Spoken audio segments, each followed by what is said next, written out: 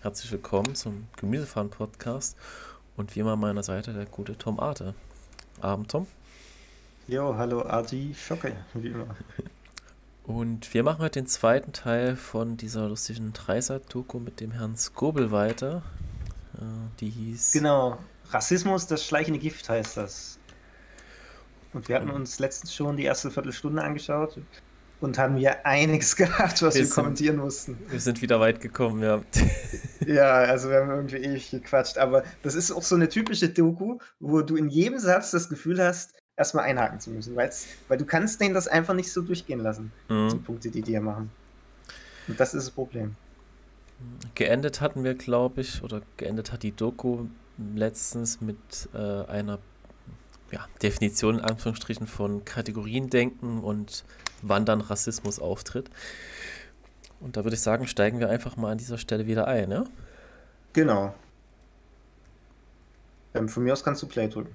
Oder soll ich? Hab ich, das habe ich durch Sie und ihren, in Ihrem Buch äh, gelernt eigentlich. Das muss man, ich weiß nicht, ob jeder dem, dem Gedanken hat folgen können. Also angenommen, ich bin, ich gehe vom Rassismus aus, dann ist mein Problem, ähm, abgesehen davon, dass ich vom falschen Begriff ausgehe von Rasse, aber dann ist mein Problem, dass ich feststelle, oh, Rassen verbinden sich. Das will ich aber nicht, wenn ich ein lupenreiner Rassist bin. Also versuche ich ähm, festzuschreiben, wie eine bestimmte Rasse sich, ähm, sich zu verhalten hat und wie die reinzuhalten ist. Das ist ja diese ganze nationalsozialistische Ideologie, die da dran kann. Also paradoxerweise will ich gerade festschreiben, weil ich weiß, dass es äh, Quatsch ist und sich verändert. Rassismus ist eben nicht nur eine Feststellung von Unterschiedlichkeit, sondern sie ist ein, oder er ist ein Aufruf, etwas dagegen zu tun. Entweder gegen diejenigen, die anders sind, oder gegen die Unterschiedlichkeit selber. Mhm. Und äh, dieser, dieser Aspekt, glaube ich, ist wichtig und erklärt manchmal, was eben tatsächlich Rassismus dann doch unterscheidet von allen möglichen anderen Formen, in denen wir die Welt und die Menschen kategorisieren. Ich könnte dazu, hätte dazu. Also ich wollte jetzt noch mal kurz einhaken, ja, weil das war jetzt das für mich ein bisschen wild. Aber Warte ich fand es gut, dass wir den Punkt mal durchlaufen lassen haben. Ja. Genau, ist vielleicht ganz gut, dass wir dann immer so ein, reinkäsen. Ähm, so, äh, warte mal. Ja, schade, jetzt hast, du, jetzt hast du mich so aus dem Konzept gebracht. Ich hatte gerade noch die Worte, die er benutzt hat, auf der Zunge. Ähm, was hat er gesagt? Rassismus ist die Ablehnung der Unterschiedlichkeit oder so. Hm. Man will alles dagegen tun, dass die Unterschiedlichkeit nicht besteht. Und so, dass so es das, keine, so keine Vermischung gibt auch, ja. Ja, ja, genau, und das passt für mich nicht zusammen. Weil, wenn du jetzt alle Rassen untereinander vermischen würdest, dann gibt es ja irgendwann keine Unterschiede, weißt du, weil einfach alles dieselbe Suppe ist. Also, der, der Punkt, an der Stelle ist das für mich ein übelstes. Ne, es ist halt eine falsche Wiedergabe von, von rechten Positionen. Findest du? Ich bin mir gerade nicht sicher, ob du das äh, falsch verstanden hast. Vielleicht habe ich es falsch verstanden, tatsächlich. Also ich hatte das so verstanden, dass sie den Rassismus so definieren, dass er auf Teufel komm raus äh, möchte, dass seine Rasse rein bleibt, um eben diese Vermischung zu vermeiden, die es halt im Tierreich etc. gibt. Mhm. Und ja, ich weiß naja, gar nicht, ob das so direkt jetzt. Das war vielleicht früher mal so die Definition von Rassismus oder wie die Leute gedacht haben. Ja das ist ja eigentlich gar nicht mehr der, der jetzige rechte Standpunkt in meiner Welt zumindest. Also da ist ja eher so dieses, äh, eine gewisse Beimischung ist äh, nicht verkehrt, dachte ich. Also das, der jetzige Stand. ja, also diese, diese, meine Position. Diese, diese, diese, diese, diese Blutlinientreue oder sowas, das, das wird hier so an die Wand skizziert als Dämon, den es eigentlich gar nicht mehr gibt. Ist klar, ich habe mich jetzt so ein bisschen an, Gut, ich habe jetzt der, der, der ihr Spiel gespielt, ich habe mich jetzt hier auch so ein bisschen an der Semantik, an der Wortwahl aufgehalten, wo es hier ging, mhm. eine Ablehnung von Unterschieden. Ich habe das halt jetzt auf lange Sicht gedacht, dass es eben dann keine Unterschiede mehr gibt. Ähm, also, ja. Äh, ich, ich merke schon, mein Punkt hier ist gar nicht mal so sinnvoll. Also, ich, ich beziehe mich jetzt halt auch auf dieses Wortgewichse. Aber ich stelle mir das folgendes vor: Du hast jetzt äh, alle Rassen der Welt und die vermischen sich mega krass, so wie ein Ariel, der, mhm. der Triton, der hier mit allen äh, Meerjungfrauen wahrscheinlich der ganzen Welt gevögelt hat. Dann hat er so sieben Töchter, die alle aussehen wie sonst was. Mhm. Und wenn die wiederum Kinder haben und sich vermischen und, und so weiter und so fort, dann hast du halt irgendwann so ein, so ein Mischmännchen und dann gibt es keine Unterschiede mehr, weißt du? Ja, aber das ist doch das, was der Rassist eigentlich nicht möchte. Das ist das, was das, wo es jetzt letztendlich mit der Globalisierung drauf hinläuft. Ja, warte, genau, daran störe ich mich gerade. Also der, der, der Rassist eigentlich will, dass es Unterschiede gibt zwischen den Leuten. Und er sagt ja, die, die, die lehnen Unterschiede ab. ich weiß, wie er es gemeint hat jetzt. Ja, okay, tut mir leid. Das war gar nicht so ein sinnvoller Punkt. Siehst du, jetzt haben wir schon fünf Minuten mit meinem Schwachsinnspunkt hier verquatscht. Ja. ja, passiert. Alles gut. Passiert, ja. ähm, ja, mach mal weiter, ja? Und noch einen ja. Gedanken. Ähm, Grada Kilomba hat gesagt, Rassismus ist Vorurteil plus Macht. Und mhm. ich glaube, dass die Machtkomponente eine ist, die ähm, so wichtig ist, auch zu verstehen. Wenn man von Rassismus betroffen ist, kann man das, die Art und Weise, wie, was an einen herangetragen wird, an Denkstrukturen nicht verändern. Man ist dem ausgeliefert. Und deswegen sind auch die Gefühle, die mit Rassismuserfahrung einhergehen, Schamgefühl, Wut, Ohnmacht, ausgeliefert sein. Mhm. Äh, die Möglichkeit, wenn einem das beim Bäcker passiert, dass man am nächsten Tag nicht das wiedererlebt und wiedererlebt und dann vor allem auch das in verschiedenen Lebensphasen, das einem immer wieder ähm, betrifft, ähm, macht es letztendlich auch ähm, so schwer zu überwinden und auch ganz schwer abzubauen aus der betroffenen Perspektive heraus. Okay, warte, warte, warte. Also sie hat ja gar nicht mal so falsch angefangen, fand ich. Also da hat sich so richtig ja. das, das, das Bild geformt von so, von so einem Baumwollpflücker, der halt die, die Peitsche im Nacken hat. Also halt, und, und wenn er da nicht spurt, dann wird er den Hunden zum Fraß vorgeworfen. Okay, das mhm. war bestimmt mal so, ja, diese, diese Machtposition. Und dann fängt sie mit irgendwas vom Bäcker an? Was? Ja, eben. Zur eben. Hölle.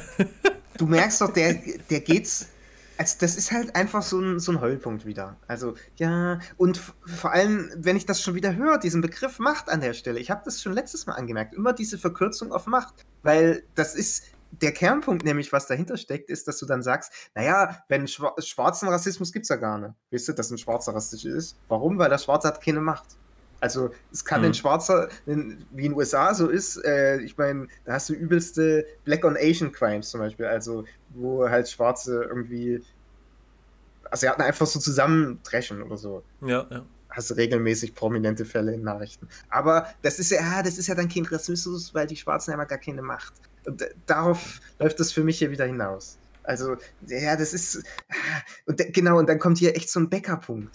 Also, da ist dann die Macht ja einfach weil die Weißen sind halt die Mehrheitsgesellschaft. Das ist doch das. Ich, ich möchte aber. Irgendwie äh, der, ihr Hauptaugenmerk. Ich möchte positiv genau. unterstreichen, das war ja schon fast ein Beispiel. Ja, ne? das beste Beispiel. Warte mal, was war denn jetzt eigentlich bei dem Bäcker? Ich, ja, was war da? Da, da war gar nichts.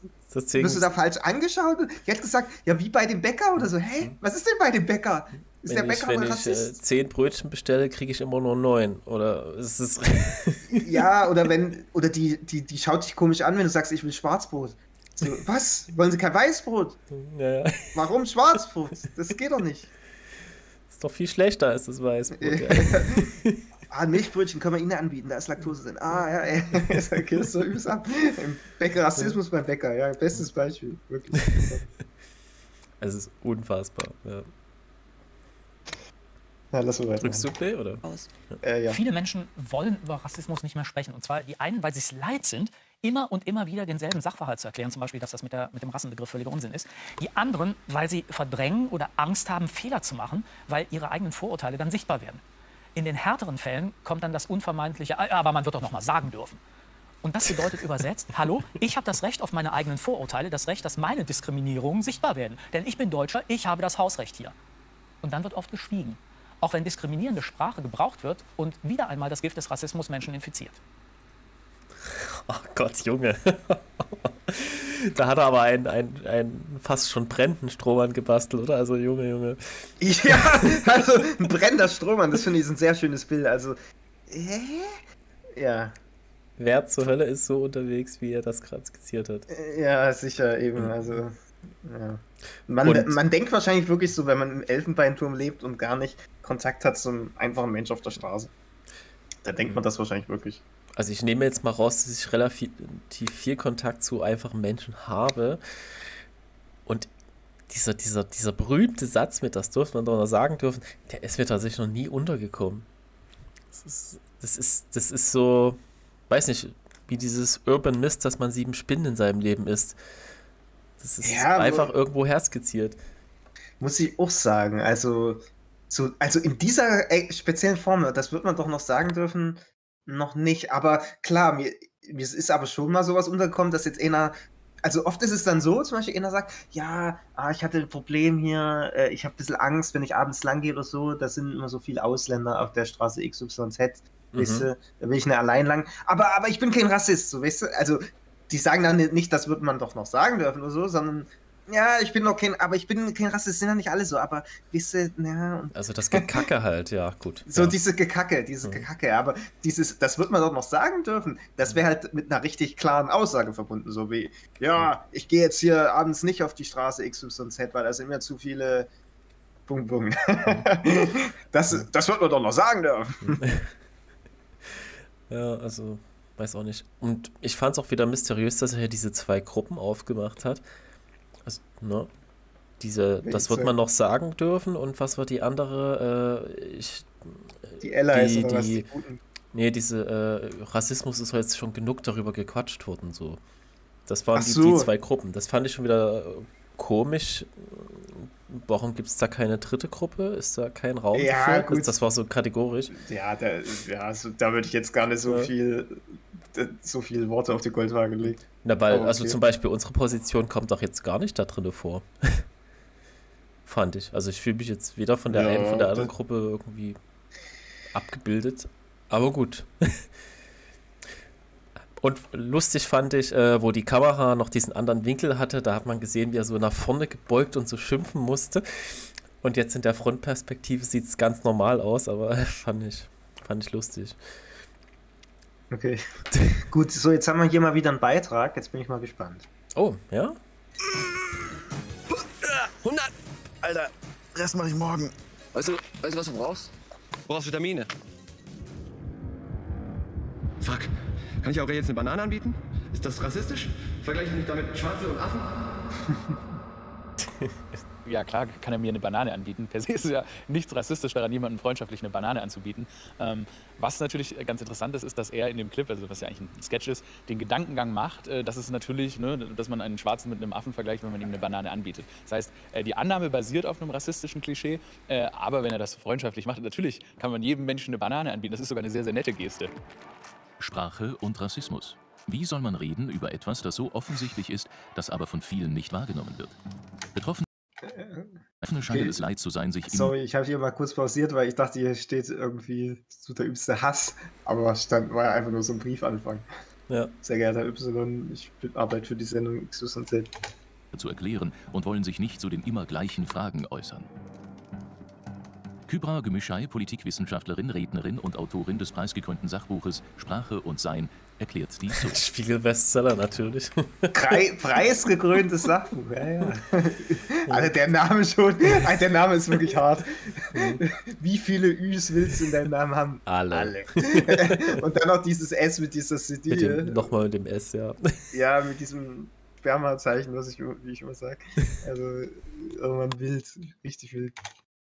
Ich habe den Eindruck, dass eigentlich sehr, sehr viele Menschen genau zu diesem Thema sprechen und auch öffentlich sprechen, aber dass bei einigen zum Teil eine Ermüdung eingetreten ist, weil die Ereignisse der letzten Wochen, also wiederholte Beiträge in Sendungen und Sendern, die eigentlich deutlich machen, dass auf bestimmte Kritik nicht so sehr hingehorcht wird und die Sensibilisierung nicht so weit vorangeschritten ist, wie es sein könnte, was, glaube ich, bei einigen einfach zu einer gewissen Frustration führt und zu einem Rückzug.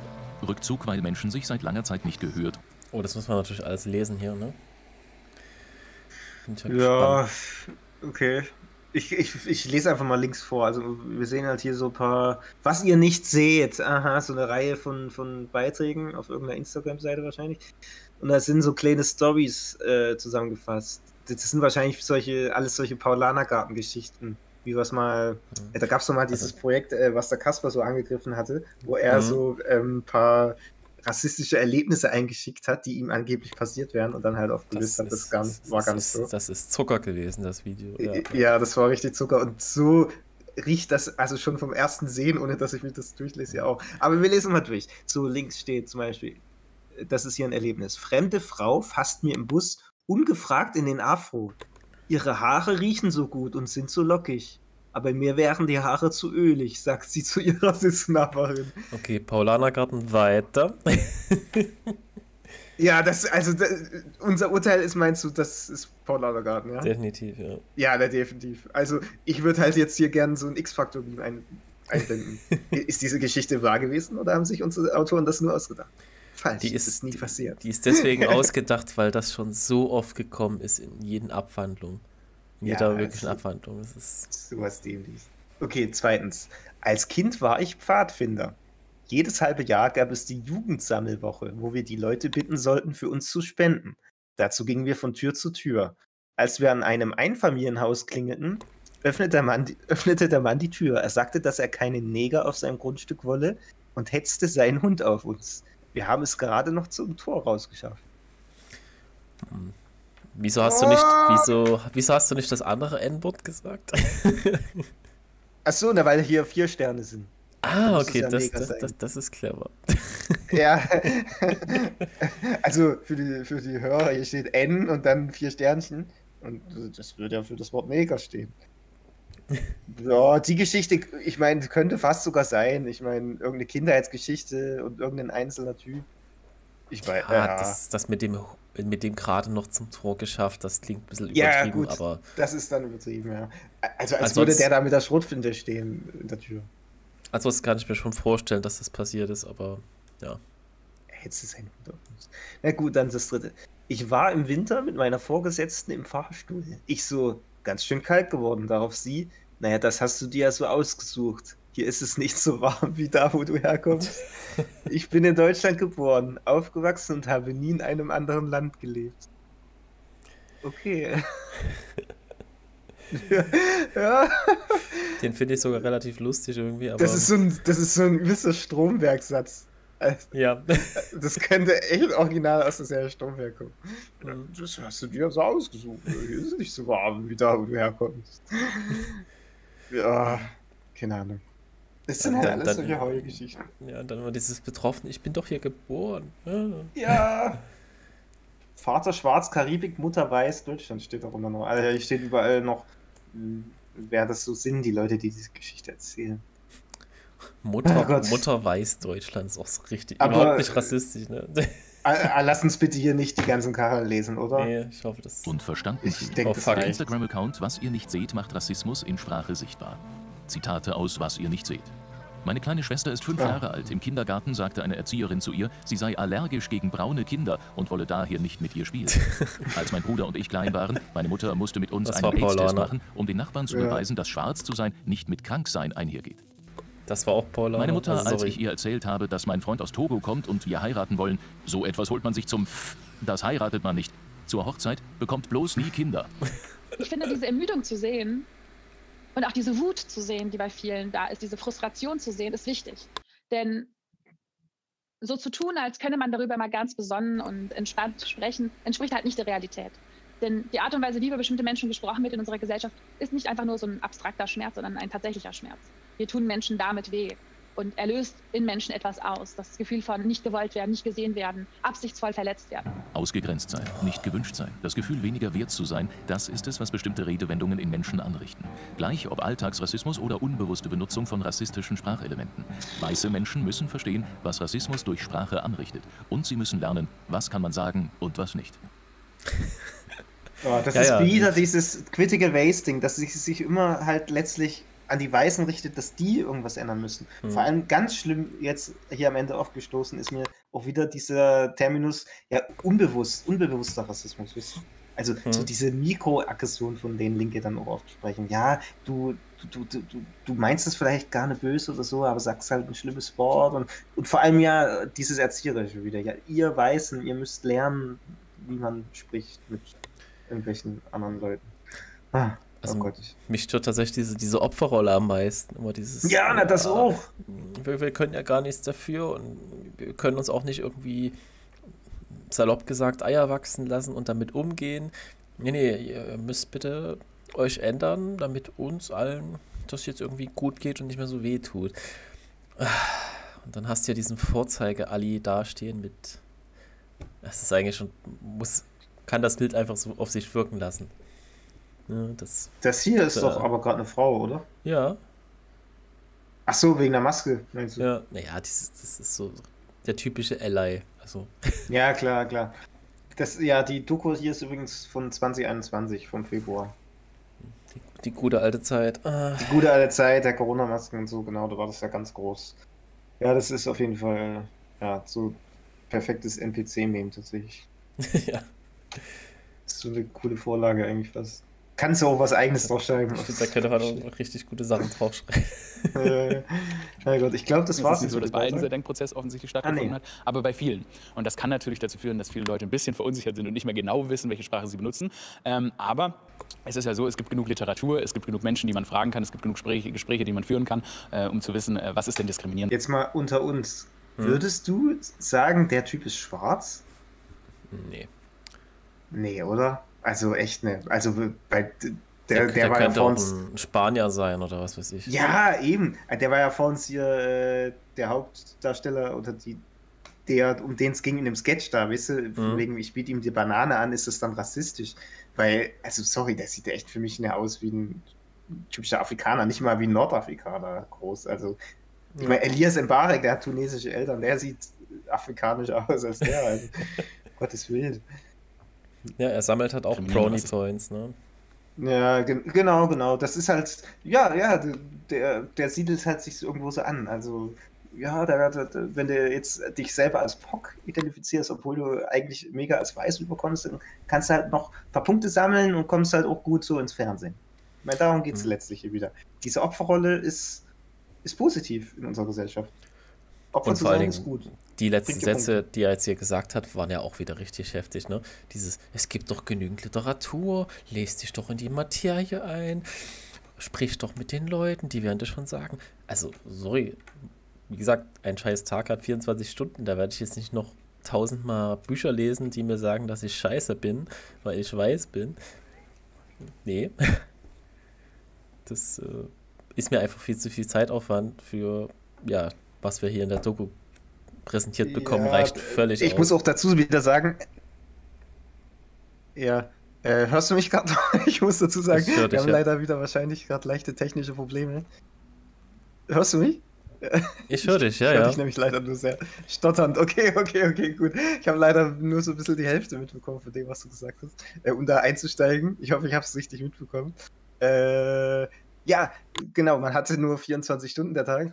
Ähm, dafür gibt es halt der ihre tollen Kurse, die uns das schön gut zusammenfassen. Wahrscheinlich an der Volkshochschule oder so gibt es dann einen Antirassismuskurs für alle Weißen. Oder wie bei, bei Coca-Cola war das so zum Beispiel. Da mussten äh, alle Weißen in den USA verpflichtend an so einem Kurs teilnehmen. Mhm. Ähm, so Antirassismus-Training. Wurde denen dann halt gesagt, naja, äh, denkt doch mal an eine bestimmte Situation, wo ihr euch rassistisch verhalten habt und Weiße sind so schlimm und so. Also so weit geht es ja schon. Das ist krass. Oh Junge. Ich mach mal weiter, da kann ich wenig sagen. Diskriminierend. Ja. Weißt du, worauf ich auch krass Bock hätte? Fuck, ich kann doch jetzt nicht Basketball sagen. Darf ich als Weißer überhaupt Basketball spielen oder ist das Cultural Appropriation? Be Bälle. Bälle, Ball, Bälle. Okay, okay. Pass auf, ich kann das nicht. Ich bin, ich bin kein Rassist. Ich mag dich und ich bin, ich bin für dich. Ich bin mit dir. Ich bin, ich, Du chill, entspann dich. Nur weil du zum ersten Mal in deinem Leben die rassistischen Stereotype hinterfragst, die du normalerweise einfach so unbedacht rausbrüllst, bist du noch kein Rassist. Im Gegenteil, du hast endlich angefangen zu reflektieren. Okay? Wir sind Freunde, immer noch. Alles ist gut. Hast du auch Sonnencreme? Ich brauch Sonnencreme, ich krieg sonst Sonnenbrand. Willst du auch welche? Boah, das Ende jetzt Oh von dem ja, Sketch hat mich super auch so lustig. getriggert. Ja. Also das, das kam auch so von oben herab jetzt, dieser Satz. Ja, du hast das erste Mal äh, diese rassistischen Stereotypen hinterfragt und die Vorurteile, die du sonst immer hast, weißt du? Also, das ist doch keine Freundschaft, wenn dir das ein Kumpel sagt, ja, du bist sonst eigentlich immer das so mega das Arschloch. Ja, genau. Und dann sagt dir der das noch mit so einem Lächeln. Also, das ist so immer dieses hasserfüllte Ding, was ich da sehe. Also, die sich, ja, alle, alle anderen müssen Rassisten sein in der Mehrheitsgesellschaft. Also, wie kann man so leben? Also, wie kann man so leben? Du, du bist doch einfach nicht glücklich, wenn du so lebst. Hm, Steile These, ich glaube, er kann das jetzt auch nur so, okay, es war ein Sketch, aber so durchziehen, weil der andere das auch einfach mit sich machen lässt. Ja, na klar, klar. Wenn er da drauf scheißen würde, das hätte auch in meiner Welt, oder für meine Begriffe, würde das auch viel besser kommen als diese. Ja, das, das ist halt keine Beziehung zwischen den beiden, wenn da so viel Ja. Knistern in der Luft liegt, weil alles vermintes Gelände ist.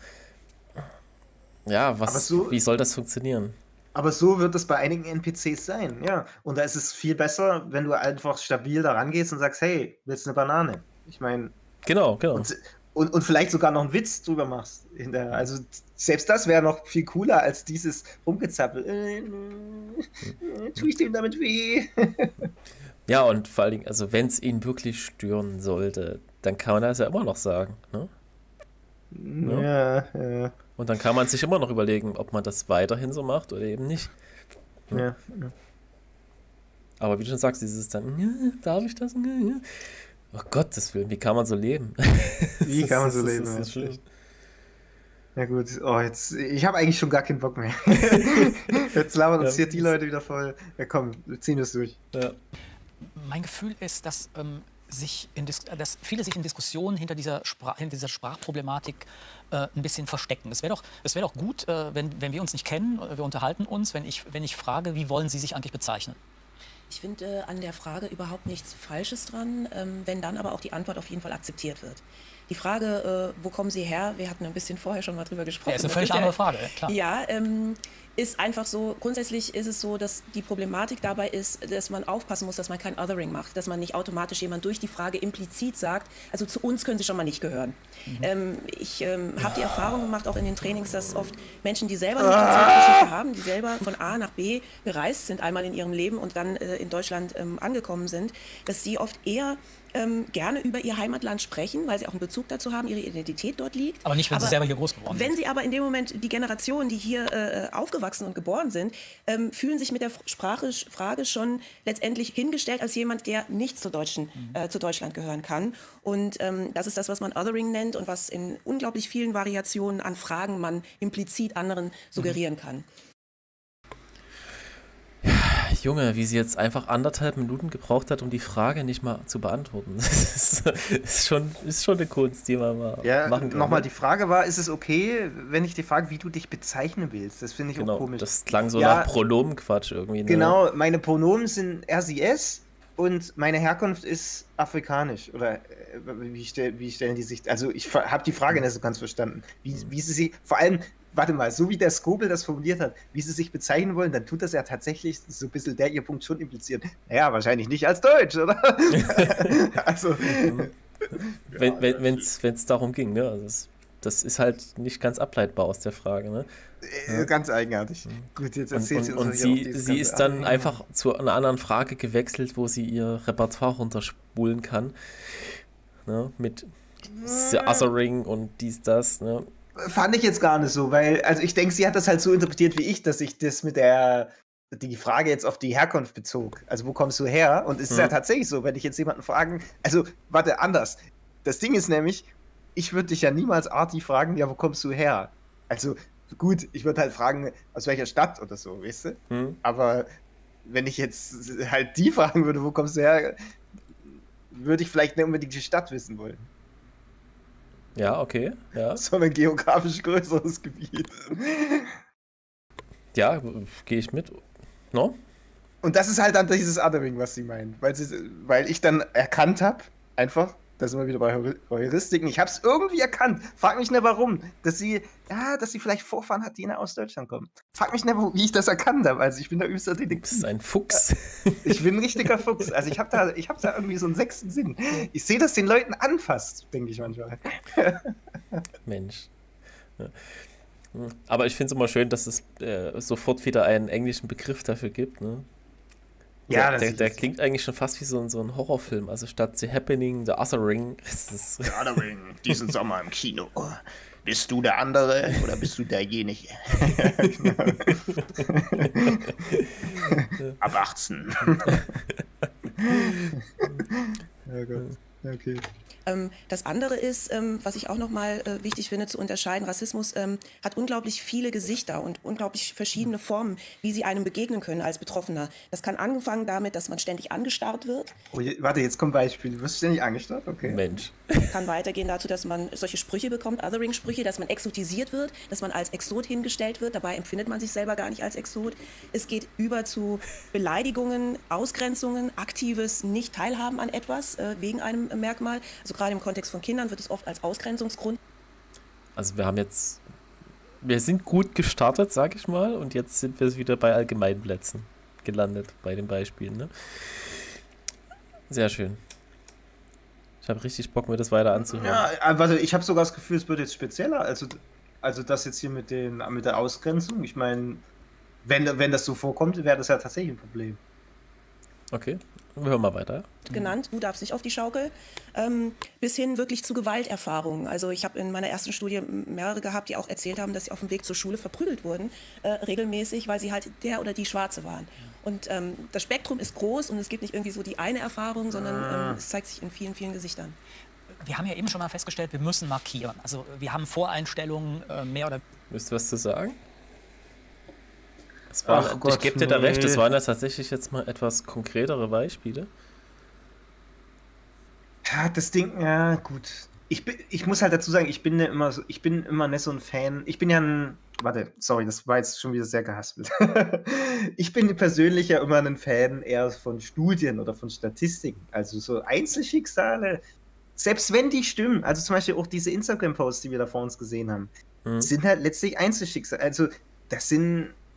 Das, das, das sind dann halt so, wie die Linken sagen, so die berühmten Einzelfälle, finde ich. Ähm, Mhm. also selbst wenn es um das Thema Kriminalstatistik geht, du kannst mir zehn Kriminalfälle sagen, wo die Täterverteilung so und so ist. Am Ende des Tages bin ich immer eher der Fan dann von einer wirklichen Kriminalstatistik, die das halt für tausend Fälle sagt. Und hier auch, ja gut, ich meine, natürlich, vielleicht kam das mal irgendwo vor, dass irgendein, irgendein Typ halt gesagt hat, hey, du darfst hier nicht schaukeln, schwarz. Aber äh, dass das ein gesamtgesellschaftliches Problem in Deutschland wäre, das wiederum, da muss er mir wirklich erst eine Statistik bringen. Das bezweifle ich hart. Also, dass hier Schwarze regelmäßig auf allen Ebenen so diskriminiert werden. Also ich musste da sogar ein bisschen lachen, weil ich mich an Sonne und Beton, äh, den Film da m, dran erinnert habe, dass dort in der Klasse von dem Türken äh, der Schwarze halt beleidigt wurde, ne? der da drinnen saß. So. Also Ja. das war jetzt, wie soll ich sagen, nicht so das klassische Täter-Opfer-Verhältnis, wie sie es jetzt skizziert, sondern naja, das war, wie nennt man das? Ausländer-Ausländer-Kriminalität oder was? Nee, das war nicht mal Kriminalität, aber ich weiß, was du meinst. Also ich würde halt auch hier ein großes Fragezeichen setzen, wer, wer war denn das, der da äh, den Schwarzen da verdroschen hat? Ja. Ne? Und wie häufig kommt das vor? Einfach darum geht es mir. vor Genau. Also, genau. Bisschen Rosinen picken kann ja jeder, ne? Genau, es hat halt ein bisschen was. Es hat halt auch, wenn ich ehrlich bin, so ein bisschen was von Paulana. Ob, ja. Aber gut, vielleicht ist es unfair, vielleicht stimmt es wirklich. Naja, komm, lass sie den Skobel mal weiterlatzen. Ja. an Dingen und auch Menschen gegenüber. Ähm, wir müssen markieren und wir benutzen in Sprache natürlich auch Markierungen. Also nicht nur, wenn wir von Schwarz-Weiß reden, äh, sondern wenn wir uns mit Gruppenzugehörigkeiten äh, zum Beispiel äh, benennen. Also, ich muss jetzt mal kurz Pause machen schon wieder. Das ist so schlimm. wir müssen markieren, ja, weil wir müssen die Dinge benennen. Also, wir können äh, wir können es nicht verschweigen. Wenn einer schwarz ist und der andere weiß, dann kann man ja nicht so tun, als würde man da nichts erkennen. Ich meine, so blöd sind die Menschen nur, ne? Es, es, Da macht halt, man, es, es vereinfacht halt auch viele Sachen, ne? Und das ist ja wirklich das Primitivste der Welt, dass man dann dafür ein Wort erfindet. Ich meine, oh Gott, ah, ich fange jetzt hier nicht mit der Bibel an, aber so geht's ja schon los. Also Adam tut dann für jedes Tier irgendwie ein Wort finden. Also ich meine, Worte machen uns als Menschen nur mal aus, dass wir für verschiedene Phänomene, die wir sehen, Worte finden. Also das ist auch kein Problem. Es ist eigentlich äh, bezeichnend, dass hier so Was haben hoch äh, Intellektuelle rumsitzen und so äh, stottern müssen über so Begriff wie Schwarz-Weiß. Ne? Ja, also wir müssen mal, naja, ich finde ja, die tun nicht mal stottern, die tun das halt noch geschickt verpacken, aber halt dieses ganze Hochgestotterte, ja, wir müssen immer markieren, ja, wir müssen sagen, ob, wir müssen Was die Dinge beim ist, Namen nennen, ja. würde man einfach sagen. Wir müssen sagen, ob einer schwarz oder weiß ist. Ja, das ist markieren, wir markieren. Und er hat übrigens, äh, was haben die mit ja, so. er hat übrigens Ohrringe. Ach so, tatsächlich, okay, okay. Ich bin da etwas verwirrt. Na, was haben die mit ähm, oder Voreinstellungen, was haben die mit Sprache zu tun? Und umgekehrt, lösen die sich auf oder, oder werden die flüssiger, wenn ich meine Sprache verändere? Bevor ich Ihre Frage beantworte, darf ich gerade auf einen Punkt in dem Trailer noch mal Klar. kurz hin, hinweisen, weil das eine wunderbare Art und Weise deutlich gemacht hat, dass wir unterschiedliche Formen von Rassismus erleben können. Wir haben da Sprüche gehabt, die Mutter, die sagt, hoffentlich kriegt ihr keine Kinder. Das ist nach meinem Gefühl klare Ablehnung brutaler Formen des Rassismus. Und der Pro Protagonist, der auf dem Sportfeld, der typischerweise auch nur schön blond ist, der ist ja jemand, der reflektiert über die Situation. Und an dem wird deutlich, dass wir in einer Gesellschaft leben, in der so rassistische Stereotype überall präsent sind. Und der will sich damit auseinandersetzen. Der will sich sozusagen, das ist jemand, der nicht rassistisch sein will, der genau diese Überlegungen äh, im Hintergrund hat und dadurch völlig verunsichert wird. Und da kommt jetzt genau die Sprache ins Spiel. Auf der einen Seite ist es ganz wichtig, dass Gruppen, die in irgendeiner Form abwertend bezeichnet werden, natürlich das Recht haben auf eigenen Bezeichnungen. Dass sie auch das Recht haben, bestimmte Formen der Behandlung zu erfahren. Also nicht immer die gleiche blöde Frage, wo kommst du denn jetzt her? Weil das einfach auch, es ist nicht unbedingt böse gemeint, aber es ist nachlässig. Vor allen Dingen beantwortet es die Frage nicht. Wenn die Antwort nämlich lautet aus Bottrop, äh, weiß ich Ja. damit auch nicht mehr. Ja gut, dann ist, dann ist die kluge, kluge Fragestellerin damit schon wiederum auf den Boden zurückgeholt und es wird gesagt, also die Frage ist eigentlich ziemlich blöd. Ab Okay, also es läuft in Zukunft daraus hinaus, dass ich mit diesen Leuten, die ich mit meiner oder mit deiner Superkraft äh, als nicht deutsch identifiziere oder als anders identifiziere, mit denen gar nicht mehr interagiere. Ja, weil letztlich. Egal, was ja, ich mache, alles ist verkehrt. All, Danke, alles, danke. was du denen sagst, ist verkehrt, genau. Und du kannst denen irgendeine Frage stellen, das, dieses nehmen die als Mikroaggression wahr. Also wenn die so drauf sind, wirklich, mit solchen Leuten, ja, willst du gar nichts zu tun haben, ganz ehrlich. Die dir bei jedem Scheiß dann irgendwie einen Strick drehen. Genau, Wo kommst genau. du her? Äh, äh, äh, das ist rassistisch. Ach Gott. Oder um es mit eurer Terminologie zu sagen, ähm, mit solchen toxischen Personen möchte man keinen Abend verbringen.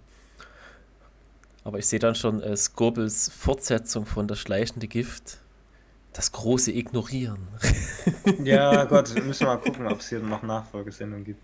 Nee, ich meine bloß, also wenn, wenn man das wirklich durchzieht und mit solchen Leuten gar keinen Kontakt mehr hat, eben. Ach so, ne, ja, sicher, Dann gibt es die Sondersendung, Ja. warum tut die Mehrheitsbevölkerung uns, uns ignorieren?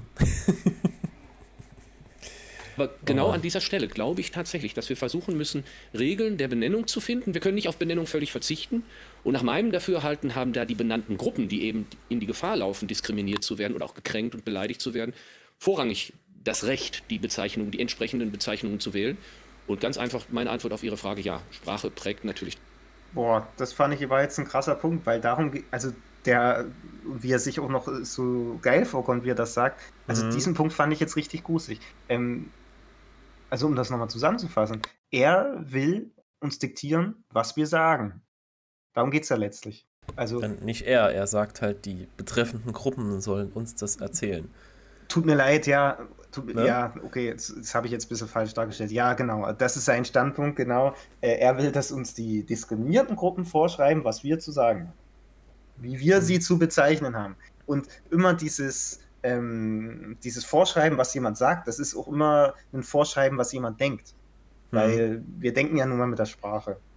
Wir denken mit Sprache. Also, wenn du an einen Apfel denkst, dann ist es eigentlich so weit, dass du nicht wie ein Apfel denkst, ja, ein Apfel, warte, ich denke da an dieses rote Objekt und das ist so ein bisschen rund und da hat ein Stier um dann. Nee, du denkst an, komischerweise an das Wort Apfel als Mensch, wenn du an einen Apfel denkst. Es ist, ist halt so. Ja, wenn du schon mal einen gesehen hast, dann ja. Ja, Sprach, Sprache formt das Denken, ja, und Mhm. die wollen mit diesen Sprachregelungen unser Denken formen.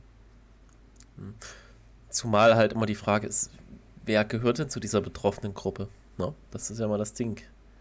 Also, sie wird jetzt bestimmt dazugehören, aber kommen da alle anderen mit dazu und stimmen da ab oder werden es wieder so ein paar Chefideologen abrichten? Ne? Aber das ist ja erstmal Ja. Schritt zwei. Wie du schon sagst, Schritt ist eins ist Schritt zwei, überhaupt, ja. dass die Sprache überhaupt einem aufgezwungen wird, wie man zu reden und zu denken hat. Ja, und das finde ich ist ein ganz, es ist ein dämlicher Punkt und, und auch irgendwo ein gruseliger Punkt. Also bin ich Und- maximal gegen. es, es wird ja auch nicht funktionieren. Also der, der, der Trotzeffekt ist bei sowas ja ganz hoch. Ja, na sicher. Da wird es dann halt eher, ja, da wird dann halt ein anderes Wort für die Leute sich ausgedacht, was noch nicht verbrannt ist. Ne? Oder, oder die Selbstbezeichnung wird halt in den Dreck gezogen. Das ist Ja. höchstwahrscheinlich das, was passieren wird. Wobei ich halt sagen muss, ein Stück weit klappt es ja doch. Also ich meine, es ist ja tatsächlich so, wie viele Leute kennst du, also, oder ich will jetzt hier keine Zahl hören, aber ich meine anders, Hm. kennst sicherlich wahnsinnig viele Leute, Angst haben, das Wort Neger zu sagen, so wie wir es jetzt zum Beispiel hier gebrauchen. Also, Hm. weißt du, die ja wirklich Angst haben, ah, das N-Wort, äh, sag, darf ich das jetzt sagen? Ich meine, ich sage das hier ganz ungeniert, Mhm. weil ich Das- mich darum gar nicht schere, dass mir irgendjemand meine Sprache diktiert. Wenn ich das sagen will, dann sage ich es. Das stimmt. Nichtsdestotrotz ist sowas wie POC oder so. Oh. Es ist ja mittlerweile einfach nur noch ein Scherz. Also, Ja, ist- der Liebling ist ja BIPOC, weil es sich so schön in allen widerspricht, wofür diese Abkürzung steht. Ja, wirklich. Nein. Willst du das kurz ausführen? Achso, es ist einfach nur, dass dieses I für Indigenous, also für Eingeborene steht. Und damit ist, noch sind wir hier die Eingeborenen, ne? Ja, ja. Sind wir weißen Kartoffeln halt mit im BIPOC-Begriff drin. Ja. Wir sind auch BIPOCs, ja, genau. Oh, Ah, Mann, ey, fühlt sich gut in der Opferpyramide an. Es fühlt sich richtig gut. Ich sonne mich gerade als BIPOC. Ja. Bin da mal gespannt, ob sie ihnen jetzt hier zustimmen tatsächlich. ja, sicherlich. Mal sehen. Sie sprechen etwas an, das Fremdbezeichnung und Selbstbezeichnung ist. Und Selbstbezeichnung gibt es de facto und ich glaube, jeder, der Antirassist sein will, sollte sich mit Selbstbezeichnung auseinandersetzen. Das heißt, in einem Gespräch ganz konkret fragen, wie willst du, wie wollen Sie sich nennen? Genau. Selber benennen. Genau. Oder äh, vielleicht die, äh, die Selbstbezeichnung. Wir hatten vorhin auch schon mal Aber das wäre doch dann Otherwing. Oder? naja, ich lasse die mal weitermachen. Sorry. Wir hatten vorhin auch schon mal drüber gesprochen, dass sie auch in einem Wandel ist. Das ist nicht immer statisch. Also dieses, dieses Festlegen, von dem Sie gerade gesprochen sind, äh, gibt es eigentlich nicht, sondern es gibt einfach da auch Veränderungen und Phasen in den 60er Jahren, in den 70er Jahren, in den 80er, 90er. Jeder äh, ist ja da auch in Veränderungen gebunden. Das ist auch in Ordnung so.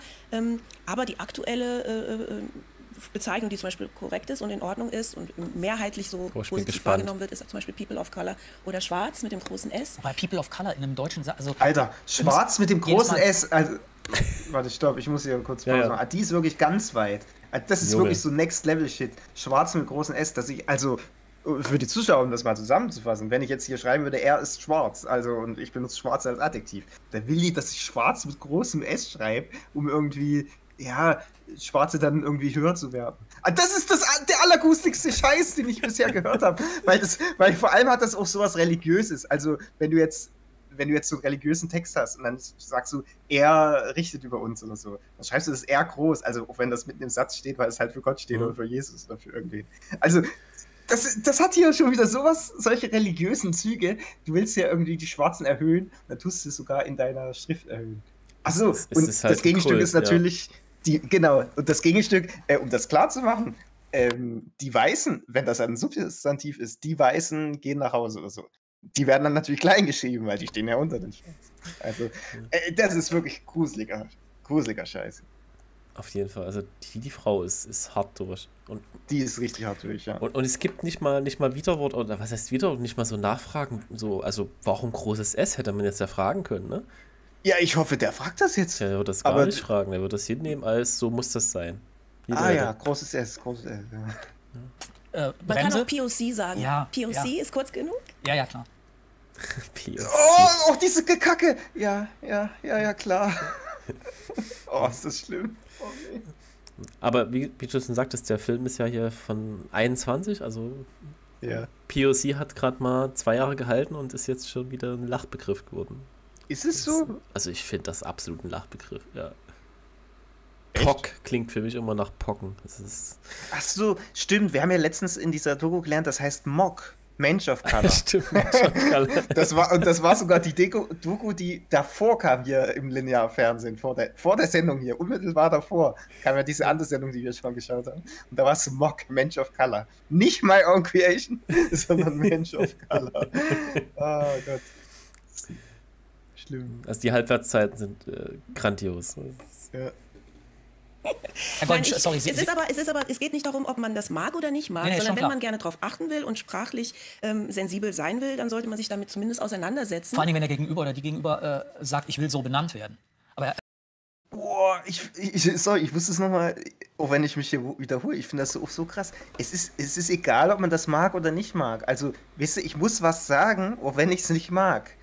Sind Weil der Anthony ich, das halt so vorschreibt. Da sind wir Alter. bei diesem Punkt, den damals der Peterson halt äh, ins, in, wie soll ich sagen, so hart angegangen ist. Ja. An der Universität, äh, wo er da war, in Toronto, glaube ich, was, also irgendwo in Kanada, ähm, war ja dieses äh, Gesetz, dass du dann die, die Anrede so machen musst, wie derjenige das wünscht. Ja, also wenn der äh, sagt, ich möchte, dass du mich mit Xixir-Pronomen anredest, dann musst du das machen. Ob es dir jetzt gefällt oder nicht. Punkt. Und wenn du es nicht machst, dann verklage ich dich oder gibt es halt gleich eine Strafe. Genau, Und- das und war die sogenannte. halt- äh, sorry, das war die sogenannte Bill C16 in, in Kanada. Also genau, da ging es halt um diese, um diese Begrifflichkeiten bei Transgendern. Aber mach bitte weiter. Und er hatte halt sogar so einen relativ weichen Standpunkt, hat gesagt, äh, ich kann dich gerne so anreden, aber nur wenn äh, wenn es sozusagen eine Respektsbeziehung ist. Wenn der Respekt als Basis ist und nicht, wenn du mich zwingen kannst dazu. Also er hat das nicht mal direkt abgelehnt, sondern hat das schon noch so, hat so halb gekackt eigentlich, könnte man sagen. Er hätte auch sagen können, bleib mir mit diesem Scheiß weg. du kannst in deiner Traumwelt denken. Aber er war da eigentlich sehr, sehr überdiplomatisch unterwegs, fand ich. Und nicht mal das ist durchgekommen. Also er ist, ne? Ja, aber es ist lustig, dass du den ansprichst, weil auf den beziehe ich mich auch immer, wenn ich hier solche Aussagen treffe wie äh, sprachliches Denken, äh, Sprache ist Denken. Also sowas ist auch viel ähm, von Jordan Peterson geprägt. Also nicht geprägt, der hat das einfach, sag ich mal, äh, populär gemacht wieder. Mhm. solche Argumente. Also die gab es natürlich schon vorher. Aber ja, also ich finde ihn auch sehr, John Peterson mag ich, was das angeht. Also diese ganzen Themenbereiche, ja. Ach Gott, okay, lass die mal aus. Die, Frau wird dich triggern. Äh, wirklich schrecklich, schrecklich. Was wollte man sagen? Ich wollte nur schon sagen, ich meine, ähm, wie wichtig dieses Thema Sprache ist, ähm, äh, merkt man ja auch, wenn man darüber nachdenkt, wie sich Rassismus eigentlich reproduziert. Also von frühkindlicher Erziehung bis zur Wissenschaft ähm, äh, sagen, ist das natürlich vor allen Dingen im Medium der Sprache. Äh, und ja, also weil, weil, Rassismus ja nie nur eine Praxis ist, ohne Denken, ohne, ohne Sprechen, sondern im Gegenteil, es ist immer eine begründete Praxis. Da steht ein Weltbild dahinter. Scheinbar, ja, scheinbar das, begründet. Das, ja. ja. begründet schon. Ob richtig oder nicht ist, also nicht begründet im Sinne von überzeugend begründet, aber es ist ein ganzes Weltbild, was meistens dahinter steht, äh, was zum Tragen kommt. Und die Leute handeln ja nicht im Affekt äh, Rassisten, sondern, sondern sie haben eine Theorie im Kopf, ein bestimmtes Wert. Und wie die sich reproduziert, das ist wichtig. Was ich an der gegenwärtigen ähm, Debatte manchmal etwas eigenartig finde, ist, dass ich manchmal das Gefühl habe, ähm, dass viele gerade der sozusagen weißen Mehrheitsgesellschaft äh, im Moment äh, so argumentieren, dass sie sagen, okay, wir haben ein Problem mit Rassismus, davon sind bestimmte Leute betroffen, die ausgegrenzt werden und genau die sollen das Problem jetzt lösen, indem sie uns sagen, wie wir sprechen sollen. Und dann sind wir die Sache los. Das ist ja genau das, was ich eben also, gesagt habe. Das wäre ne? sozusagen, ja, ja genau. Ja, und da, da bin ich mir nicht, also das ist zwar wichtig, da einen Dialog anzustrengen, aber irgendwo ist es auch ein Stück weit eine, eine Verantwortungsverschiebung. Also auch weiße sozusagen Rassisten oder potenzielle Rassisten sollten über, über nachdenken, was, was Rassismus eigentlich ist. Na, können wir ja nicht. Weil alles, was wir machen, ist falsch. Ja, ich, und, ja. und ich würde, also ich, nur jetzt mal um auf seinem Level zu bleiben, also an sich fand ich seine Analyse jetzt nicht verkehrt mit dem Weltbild und so. Das, das stimmt schon. Das mhm. ist halt, was eine Ideologie auszeichnet, dass man ein geschlossenes Weltbild hat. Das kannst du jetzt aber auch allen Anwesenden vor, äh, vorwerfen, schlussendlich. Die haben auch ihr eigenes Weltbild, was in sich geschlossen ist. Ja, so ist es nun mal. Und ja, was er hier redet von, von wie hat das formuliert? Äh, Verantwortungsweitergabe. Das, und ja, man, ja. man schiebt sich hier, man schiebt einen faulen Lenz dabei. Das ist ja das Einzige, was uns sozusagen noch möglich ist. Denn wenn wir es ja. wenn selber machen, sind wir sofort wieder, ja, auch Rassisten. Geil. Ja, ich muss ehrlich sein, ich verstehe jetzt noch gar nicht so richtig, worauf hinaus will. Ich, ich, will, lass den mal kurz bitte weiter erzählen. Mhm. Also, sich nicht nur von den Betroffenen erklären lassen, was es ist oder wie ja, sie sich verhalten sollen. Es ist ja letztendlich, muss man einfach hinschauen, was passiert da, wenn, ich jemanden rassistisch markiere. Aber warte mal, okay, stopp, das war schon der Punkt. Okay, okay, das war der Punkt. Man soll, also, man soll einfach nicht die anderen sagen lassen, was du sagen sollst, sondern du sollst dir darüber selber Gedanken machen. Hä? Aber wenn ich mir selber Gedanken mache, dann ist es ja, wie du gesagt hast, immer falsch. Weil dann sage ich halt, ja, schwarz mit kleinem S zum Beispiel. Und dann kommt er, nee, schwarz mit großem S bitte. Ja? Scheiß Rassist. ja, ich, ich, ich, ich, bin ein Herr und Meister, ja, schwarz mit großem, großem S. Mal gucken, ob sie ihn auseinanderpflückt jetzt. Ja, ich, ich fange mal hier an. So es ist ja letztendlich, muss man einfach hinschauen, was passiert da, wenn ich jemanden rassistisch markiere. Ich reduziere ihn auf ein bestimmtes Merkmal und alles, was der Mensch tut oder nicht tut, ist gebunden an ein Merkmal. Wenn man das Ganze überträgt, ähm, dann wird einem erst bewusst, wie absurd es eigentlich ist, ähm, dass man gewisse Eigenschaften haben soll aufgrund des Anteils an Melanin, den man in. Das ist zum Beispiel schon mal dämlich, der Punkt, den die hier macht. Also schon wieder dieser Punkt mit der Markierung und wenn du die Markierung machst, dann äh, reduzierst du alles auf ein Merkmal. Das ist doch Quatsch. Wenn ich jetzt sage, du Arti, du bist ein Mann oder du bist ein Gemüse. Dann mache ich ja schon einen, eine Markierung. Aber dann sage ich ja nicht, ja, du bist jetzt so und so, weil es gibt ja tausend verschiedene Männer. Und genau, es gibt tausend verschiedene Schwarze und Weiße. Also Ah, die, ja, die, die Reduzierung auf dieses eine Merkmal war auch komisch, ne? Ja, die reduzieren sich selber in ihren Gedanken immer nur auf diesen Rassismus. So, egal was du machst, äh, es ist halt rassistisch. Und es ist vor allem immer gleich, mh, hm, wie soll ich sagen, ähm, du denkst dir was Übles dabei. Weißt du? Hm. Das ist der Vorwurf, der hier immer durchkommt. Ja, die denken sich was Übles dabei. Und sie kommt jetzt ja hier, zeichnen. sie kommt jetzt ja mit dem Melaningehalt. Es ist ja nicht nur der Melaningehalt. Das ist ein großer Faktor. Ja. ja, das ist nämlich auch das Ding, klar, klar. Aber vom Biologismus haben die sich ja eh schon verabschiedet. Also, ja, weil Rassen gibt es ja auch überhaupt nicht. Das ist ja absoluter, absurder Ursinn. Und so, ja.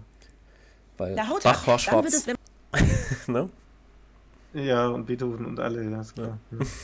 abstrahiert, dann wird es eigentlich deutlich, wie absurd es ist. Aber man tut diese Absurdität schon so lange, mhm. dass es einfach normal ist. Mhm. Aber für Betroffene ist es absolut kein Spaß. Und ich äh, erlebe es vor allem auch, wenn man die Wirkungsweise sich anschaut. Das ganz Traurige ist wirklich, wenn man sieht, dass Kinder zum Beispiel irgendwann annehmen, dass sie wirklich das Gefühl haben, ich bin weniger wert sie wirklich glauben, dass sie kein respektvolles ähm, Miteinander mehr erwarten können, dass sie verinnerlichen, dass sie ähm, weniger wert sind. Das ist ein ganz, ganz trauriger Prozess und deswegen finde ich, ist Empowerment so wichtig.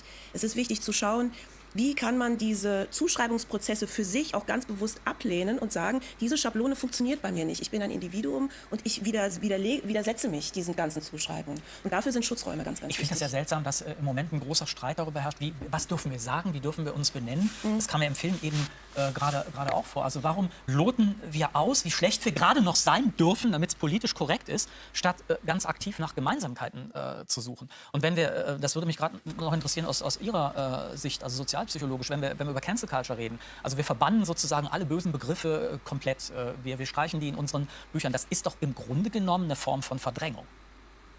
Also ich würde jetzt nicht sagen, dass wir notgedrungen verbannen und das unter großen Qualen tun. Ich finde, viele Leute sind auch bemüht, dann Rücksicht zu nehmen auf die, die in irgendeiner also Weise... Wenn Kant das N-Wort benutzt hat äh, und ja. ich, streiche das im, ich streiche das im Text, ähm, dann leugne ich, was es zur damaligen Zeit gegeben hat. Ja, aber wenn, es um Straßenschild zum Beispiel geht, dann geht es auch um eine Bezeichnung, da würde ich zum Beispiel andere Auffassungen ja, vertreten. Ich Ihnen Ne? Also Kant als eine historische Quelle zu äh, diskutieren und auch zu rezipieren und herauszuarbeiten, wo das Problem ist, ist natürlich sinnvoll, aber auch darüber nachzudenken, ob unsere alltäglichen gebräuchlichen äh, Bezeichnungen nicht auch ja. änderbar sind, finde ich, ist schon eine Überlegung wert.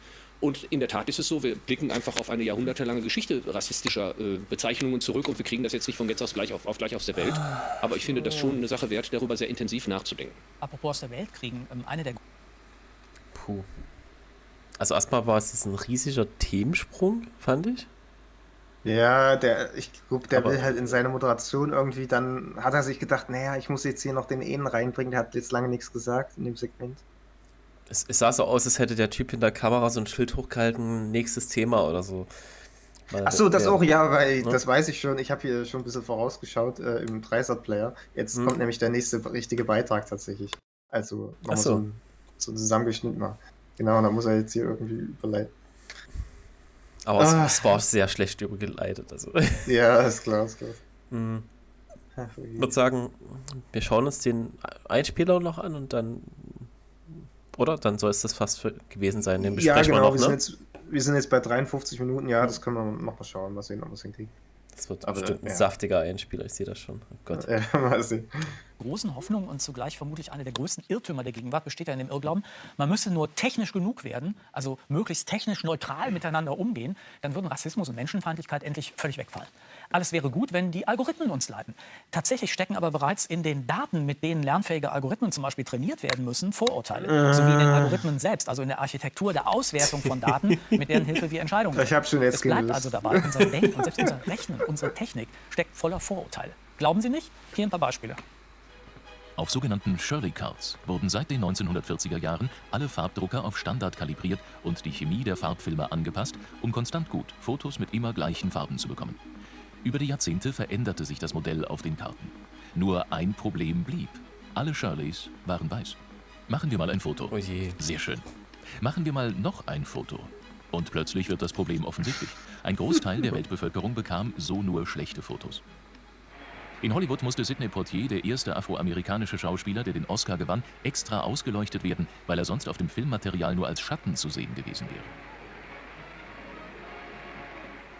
Erst Ende der 1980er Jahre wurde Marktführer Kodak gezwungen, etwas gegen den eingebauten Rassismus zu tun. Allerdings aus einem anderen Grund. Schokoladenhersteller ließen Werbe... Alter, ich, sorry, ich muss hier mal kurz pausieren. Ist vielleicht ja. aber eh gut für den Algorithmus. Alter, der eingebaute Rassismus. Also das, ich finde halt diesen Begriff auch so krank. Da hat sich, da hat sich einer so richtig gedacht, so Hände reibend, hehe, jetzt bin ich mal so richtig rassistisch. Jetzt, jetzt will ich ja diese Filmrolle so gestalten, dass da die Schwarzen ganz scheiße drauf aussehen. Genau. Die Neger kriegen kein scharfes Foto hier. Ja, genau. hat es dann das Sidney Portier und Sammy Davis Jr., den hasse ich auch. Ah, hey. Und vor allem jetzt in ihrem Beispiel, ne, das ist jetzt anscheinend in den 80er Jahren angegangen worden. Vor 50 Jahren. Überleg mal. Scheiße, ist, warte, ja, 40 Jahren. 80er sind 40 Jahre. Ja, Entschuldigung, 40 Jahre, ja, ja, ja. Also trotzdem schon lange her, ja. Ah Gott, ja, der eingebaute Rassismus. Nee, also vor allem, ich, ich sehe halt diesen Begriff Rassismus, ich finde, der, der, ist da wirklich fehl am Platz. Das ist halt, ja, das war vielleicht eine Unachtsamkeit, aber es ist so eine. Ja, das war einfach die Zielgruppe die Zielgruppe von, wann war das? Ich sag mal 60er Jahren. Ja. Mhm. Für diese Fotos, das waren halt Weiße. Punkt. Ja. Ja, und da wollen die möglichst gut auf ihren Bildern aussehen, klar, ja. Hast schon recht. Und jetzt haben alle ein Smartphone, das heißt doch, die Leute in Afrika haben ein Smartphone und die können jetzt auch Fotos schießen und dann sehen die halt kacke aus. Okay, habe ich verstanden. Das weil, ist aber nicht eingebaut, es ist einfach historisch nun mal so da. Ja, Jemini. Ja, ja, das ist dann, das ist dann noch kein Rassismus, finde ich. Rassismus ist. Das, ohne Intention halt, ne? Und die genau, tut das genau, hier so, genau. so frame, als, als hätte man das mit Absicht gemacht. Also Danke, das ist ein guter Begriff, ja, mit Intention, genau. Also dieses Unbeabsicht, das ist einfach kein Rassismus, das ist einfach nur ein ganz stinknormaler Unterschied. Ach Gott. So, jetzt kommt hier, ja gut, dieses Scrabble-Bild, das ist schon mal das nächste. Hier sind so verschiedene Begriffe für dunkel, ne? Chocolate Dark, Mousse, Milk, Sweet und beschwerten sich, denn die Milchschokolade war nicht von der dunklen Schokolade zu unterscheiden. Und heute? Das Problem ist nicht aus der Welt.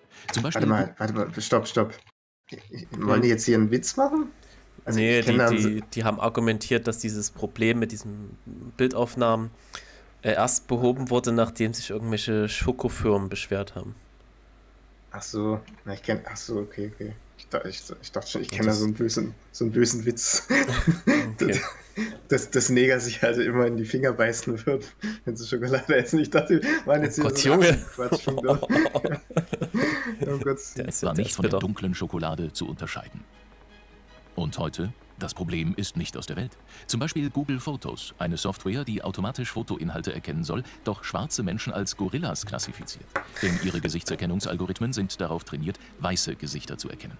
Und das ist kein Einzelfall ja, wir haben rassistische Chatbots, wir haben rassistische Bilderkennungssysteme, wir haben Rassismus bei medizinischen Anwendungen, wir haben äh, Rassismus in der Technik bei äh, sogenannter Legal Tech, also Technologie, die im Bereich der, der, des Rechts zum Einsatz kommt. Ähm, so könnte man alle möglichen Bereiche durchgehen und zeigen, ähm, dass es sehr viele Anwendungen gibt, die algorithmische Diskriminierung aufweisen.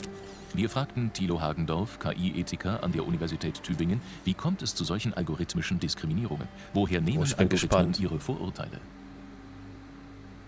Letztendlich lernen die Systeme aus Gegebenem. Sie zementieren Vergangenes. Machine Learning-Systeme brauchen immer viele Daten zum Training. Und diese Daten bilden vergangenes menschliches Verhalten ab.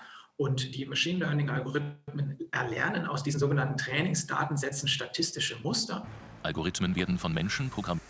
Also erstmal, er robotert ja mehr als ich, aber es geht jetzt übrigens wieder. Also, Ach, das, ist, das wieder alles okay. Aber das andere ist. Das war auch ja so diese Corona-Zeit, ne? Da durfte man nur äh, so sprechen, ne? So, Fernverbindung. Aber das andere ist ja, was er irgendwie unterstellt, ist, dass diese ja, ITler da, die diese neuronalen Netze mit Datensätzen füttern, dass das alle harte Rassisten sind. Oder? Ja, ich kann mir das nicht anders erklären, was der hier aufmacht. Ja, das ist wieder das Ding, was du vorhin gesagt hast. So, da wird so eine Intention unterstellt, finde ich, bei dem Begriff Rassismus. Also, die Datensätze sind halt so, wie die sind. Und wenn da jetzt zum Beispiel mehr Weiße drin sind, äh, liegt es an den Datensätzen, ne, an den Entwicklern. Also, ich sehe da halt echt keinen Rassismus. Schlimm. Ja. Denen menschliche Vorurteile stecken. So wird gesellschaftlicher Rassismus verstärkt und kann im realen Leben für Betroffene weitreichende Konsequenzen haben. Und es ist mitnichten so, dass da irgendwie böse Entwickler sind, die bewusst die Technik rassistisch oder sexistisch. Ach, Entschuldige, dass ich nochmal reinkriege. Hier stand gerade KI-Techniker, ne? Aber Mhm. wurde er nicht gerade als KI-Ethiker anmoderiert? Der ist- vielleicht ist er beides, Aber das ist so ein Tausendsasser hier. Ja, das sind tausend Sachen. Mal so, mal so. Okay. Ganz im Gegenteil, es ist häufig gar nicht, gar kein intentionales Geschehen, sondern die Technik ist einfach deshalb diskriminierend, weil sie nicht genug reflektiert wird. Im Endeffekt greift sie aber immer das auf, was in der Gesellschaft schon an Verhaltensweisen etabliert. Nicht genug reflektiert wurde über einen Algorithmus, den US-amerikanische Krankenkassen benutzten, um intensivmedizinische Betreuung vorzuschlagen. Er bevorzugte signifikant weiße Patienten. Grund waren Daten, die zeigten, dass Afroamerikaner ein größeres Risiko haben, bei Krankheit weniger Gehalt zu bekommen oder den Job zu verlieren. Im Fall von dunkelhäutigen Strafgefangenen, denen ein Algorithmus eine höhere Rückfallwahrscheinlichkeit attestierte, war zwar die Hautfarbe nicht in den Daten, aber das System fand Korrelationen zwischen Wohnort, Lebensumständen und schließlich daraufhin der Hautfarbe. Ja, und ist das jetzt falsch? Sorry, ich muss jetzt, Also, hä? ich muss jetzt hier mal kurz einhaken. Ja, das ist doch alles nicht falsch. Also jetzt zum Beispiel, äh, äh, hä? Ja, das ist ja, wenn das nun mal so Realität ist, dass in einer bestimmten Wohngegend, wo viele Schwarze sind, dass es dort krimineller ist? Da ist es halt so. Soll man das jetzt rausrechnen? Genauso wie jetzt hier mit den Patienten, dass die irgendwie andere Aufenthaltszeiten haben oder, ach nee, es ging um das Thema Finanzierung. Hm. Hä? Das ist doch, das hat doch jetzt nichts mit Rassismus zu tun. Gut, gut, der Rassismus war jetzt äh, die Konsequenz daraus, dass dann die schwarzen Patienten weniger häufig aufgenommen werden oder dass jetzt äh, im Fall der Polizei das häufiger nach Schwarzen gefahndet wird. Aber auch da, das, das ist ja eigentlich sogar schon die perfekte Erklärung. Es geht gerade eben nicht wegen der Hautfarbe, sondern wegen anderen Faktoren, die da hinten dranhängen, die damit korrelieren. Ja. Also ich glaube auch, dass die das mit der Korrelation nicht so ganz verstanden haben. Irgendwie, das ja, Konzept. Ja. Also Das sind in der Soziologie würde man sagen, das sind halt sogenannte Drittvariablen. Also die noch damit zusammenhängen und die das eigentlich in Wahrheit erklären. Mhm. Ach Gott. Besonders absurd entwickelte sich Microsofts KI-basierter Chatbot Tay, der für nette Unterhaltung sorgen sollte. Innerhalb kürzester Zeit verwandelte er sich zu einem rassistischen Nazi und fand Hitler besser als Obama. Da half nur noch den Stecker ziehen. Und das KI-Sprachmodell GPT-3, das bis heute höchst entwickelte Sprachprogramm, hegte tief verankerte Vorurteile gegen Muslime. Und im neuen Zeitalter der Zoom-Konferenz Ich muss es mal kurz lesen. Turns out at Zoom US has a crappy face detection algorithm that erases black faces and determines that a nice pale globe in the background must be a better face than that than what should be obvious. Ach so, okay, okay, ich verstehe. Da geht's hier links, du siehst ja den schwarzen Typen und da drüber ist so ein, so ein, so ein Globus, so eine Erdkugel im Hintergrund. Und der Algorithmus denkt wahrscheinlich, das ist ein Gesicht eher noch. Aha. Auch noch das. Der virtuelle Zoom-Hintergrund hat wohl ein Problem mit farbigen Teilnehmern. Da werden schon mal die Köpfe rausgerechnet. Rassistische Mhm, okay. Diskriminierung ist automatisch aus der analogen in die digitale Welt kopiert worden. So hält die Technik einer Gesellschaft den Spiegel vor, in der struktureller Rassismus immer noch erschreckende Realität ist. Alter, war das ein alberner Beitrag auf allen Ebenen. Also wirklich. Also da brauchen was- wir gar nicht groß drauf eingehen. Das ist ja wirklich Quatsch, alberner Quatsch jetzt gewesen. Also was für mich jetzt die Konklusion ist, aus deren Sicht, ist, man muss das ideologisch betreuen, damit solche Rassismen in der KI nicht mehr vorkommen. Ja. AKA das, was jetzt schon passiert ist bei ChatGPT, soweit ich das mitbekommen habe. Ne, dass das auch schon ein sehr links eingeimpftes oder pseudo-links eingeimpftes Programm mittlerweile ist. Ne? Ja, auf jeden Fall. Dieses, der Klassiker ist ja ja, äh, mach mal drei Witze über Männer, alles klar, Ja. kein Problem, und dann mach mal drei Witze über Frauen. Ah, ich bin ein sensibles Chatprogramm und das würde Gefühle verletzen, dies, das, Ja, genau, genau, genau. Also absolut lächerlich. Ja, es ist krass, wie gut zum Beispiel jetzt tatsächlich ChatGPT wirklich die Opferpyramide kennt. Wenn du den auch zum Beispiel fragst, mach mal einen Witz über Jesus oder über Christen, dann haut er den dann raus. Und wenn du sagst, über Muslime, dann nee, nee, ich kann nicht. Weißt du, Mhm. das, der kennt tatsächlich schon diese Opferpyramide. Wer wo steht, das, das weiß die KI schon. Das ist ziemlich gruselig. Als hätte es ihr jemand gesagt, Mensch. Ja, als, als, als ja, Ja. gut, das war, ja, dann war vielleicht doch so eine Intention dabei in den Trainingsdatensätzen. Man weiß es nicht, wie das da beeinflusst Gott. Ja, die, die Intention, die rein zufällig in, in jeder Sachlage genau auf einem bestimmten Ideologiebild schwimmt, Mensch. Also Zufälle gibt's Äh, Unfassbar. Ja, als den Beitrag jetzt am Ende hier, den fand ich wirklich Mist. War wirklich Quatsch. Ja, aber gut. Deswegen habe ich da gar nichts mehr zu sagen. Bei, bei, bei KI-Ethiker wusste ich, dass, dass, das wird nur so eine Scheiße werden. Ne? Ja. Das, das ja. ist so ein richtiger. Was ist das überhaupt? Das hat er sich doch selber ausgedacht nach seinem Abschluss ja, als KI-Techniker. Er ist wahrscheinlich nur KI, er programmiert wahrscheinlich bei sowas mit und dann ist er auch KI-Ethiker. Dann hat er sich gedacht, auf meiner kleinen Karte, da ist noch Platz, da mache ich Ja, genau, genau, genau. oh Mann. Warte mal, wie weit sind wir jetzt? Sekunde? Äh, oh, wir Gott. sind bei 1 Stunde 5 Minuten, also eh knapp über der Zeit. Ja. Und ich denke, das wäre hier ein guter, guter Punkt, um das erstmal für heute zu beenden. Auf jeden Fall. Nee, ich schreibe mir gerade mal die Zeit. Oh Gott, wir haben. Naja, gut, wir haben ja, schon über die Hälfte geschafft, immerhin. Ich, vielleicht, gut, das können wir im, im Nachgang noch tiefer gehen besprechen. Ich würde fast vorschlagen, wir schauen nicht mehr den ganzen Rest, der noch kommt. Weil ich habe irgendwie nicht das Gefühl, dass die noch viel Neues erzählen hier in ihrer Diskussionsrunde. Aber das besprechen wir mal. Ähm, ja, mal gucken. Ja, war wieder schön. War jetzt ja ein bisschen Pause zwischen den Streams tatsächlich. Aber war sehr schön mit dir. Genau, hat mir auch gefallen, Arti. Ja, das Leben hat wieder zugeschlagen. Ich hoffe, wir schaffen es mal eher wieder. Ja. Ähm, ja, und dann kommen wir mal wieder zu unserem typischen Geplänkel am Ende. Erstmal das YouTube-Gebet. Genau, das hat man Amen. Amen. Amen, genau, das hat man lange nicht. Ihr wisst, was das heißt. Wir sagen es nicht, aber ihr wisst, was das heißt. Immer schwarz und großem S schreiben. Das meinen wir. genau. ja, und ansonsten würde ich sagen, ähm, bis zum nächsten Mal. Ich hoffe, ihr bleibt uns gewogen und ihr seid wieder dabei. Und ja. Tschüss. Tschüss, ich mach die Tür zu.